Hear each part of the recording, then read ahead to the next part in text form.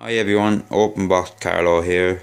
Today we're going to go through a tutorial on how to set up Wi-Fi on an IPAB Open ATV image. Right, so the first step is to go to menu on your remote.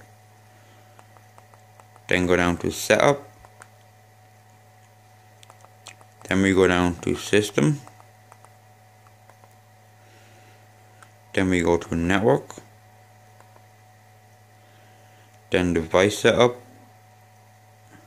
Now, here you get two options, which you have WLAN and LAN connection.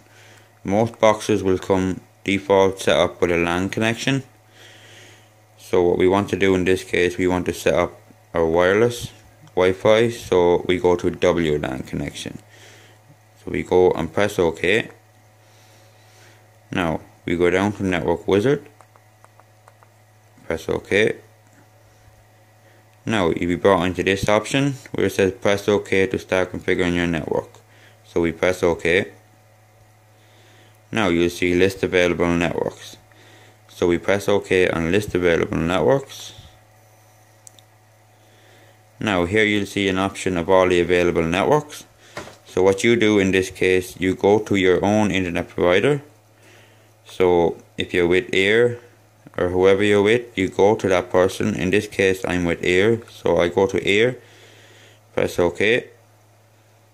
Now, in this option, you have to fill out the field. Whatever you do, don't press OK, otherwise it'll activate the network before the fields are filled out. So what you do in this case is use interface, we want that on yes. So we press the right arrow then we go down, UDHCP, we want that on yes. Hidden network, no. Then our network name. Now, the most important part is the encryption. So in most cases, the encryption will be WPA or WPA2, which is the exact name. So we go to WPA or WPA2.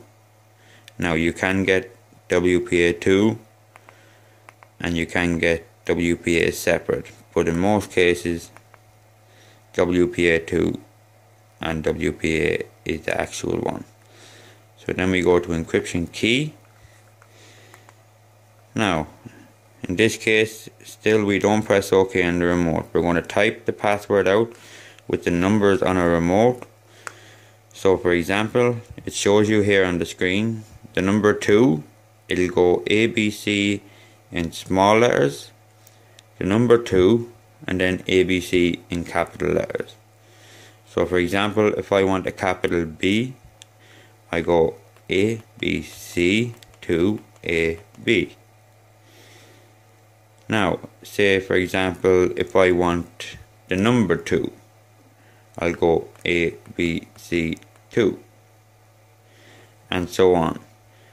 The guide is on the screen to show you exactly where the letters and numbers are. Once you have your password entered, press OK. You will now get an option saying, are you sure you want to activate this network configuration?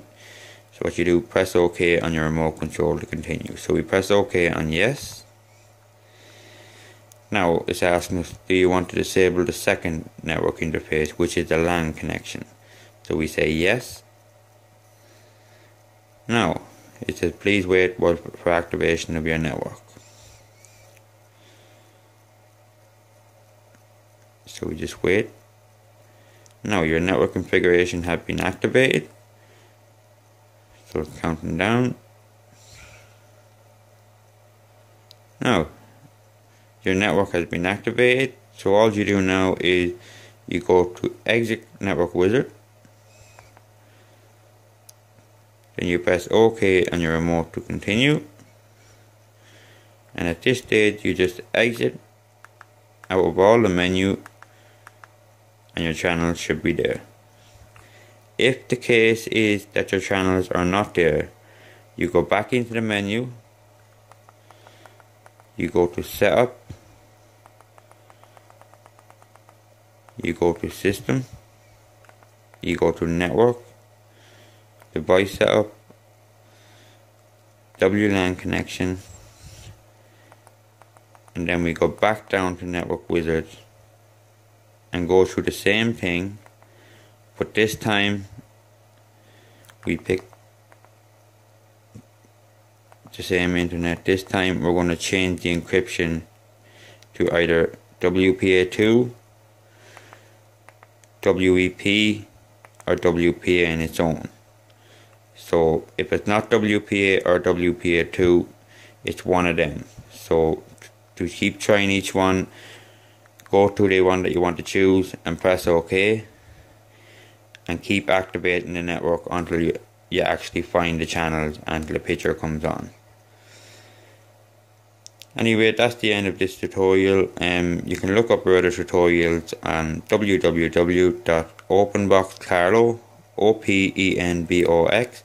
www.openboxcarlow, O-P-E-N-B-O-X, C-A-R-L-O-W dot com forward slash tutorials.